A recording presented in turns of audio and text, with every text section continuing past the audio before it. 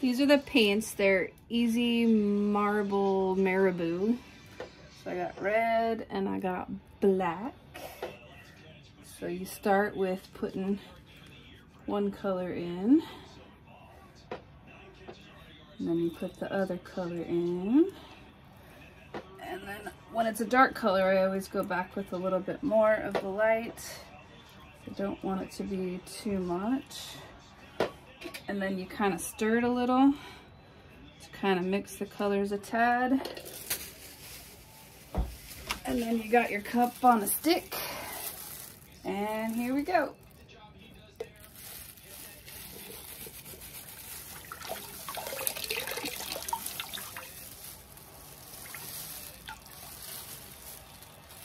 I ended up with a little bit of a blank spot there, but it'll probably be all right. But see, the nice thing about hydro dipping is it gets it on the handle.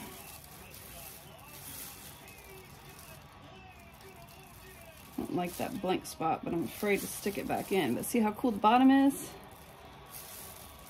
Not sure why that blank spot got there. Let's see if I can... I might clear this and try to dip just that corner. It's got a little bit blank there. So then you kind of clear the water and all the stuff kind of sticks to your glove. It's kind of yucky, but see if I can do a little bit more.